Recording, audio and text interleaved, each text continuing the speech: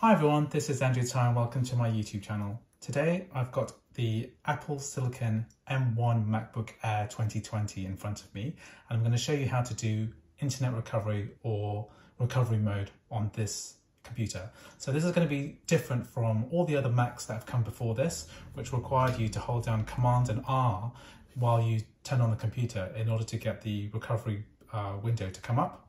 And um, the difference here is that all we need to do now is uh, when we press the power button, we hold it down and then something here will say um, continue to hold down in order to enter the recovery mode. So I'm going to do that for you now. I'm going to press the power button and I'm going to hold it. And as you can see here, it's saying continue holding for startup options. So um, it's loading now and I could lift my finger now and it'll go into the recovery menu. I'm just going to show you quickly what's changed with this recovery menu as well. So um, here we, we have the options menu, which is kind of the traditional recovery menu. And here we're going to, we can boot into the main operating system internally. And I'm assuming that if we have external drives, we might be able to boot from there. Um, so what I'm going to do is go into the options menu, which is going to bring us to the kind of traditional recovery mode.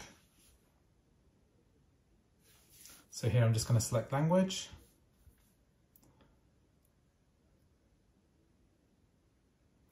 And there we are, we're inside the machine.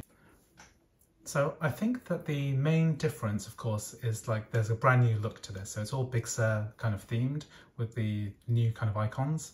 Everything that we kind of had before is still there. So we've got things like um, the terminal right, which we can still use to type commands,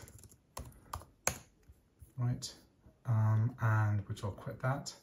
And we've also got startup security utility, which um, we can use to change the um, security of our startup disks. And we've got um, the ability to restore from a time machine backup. So um, it is possible to restore from Intel um, time machine backups and uh, we can also reinstall the operating system here.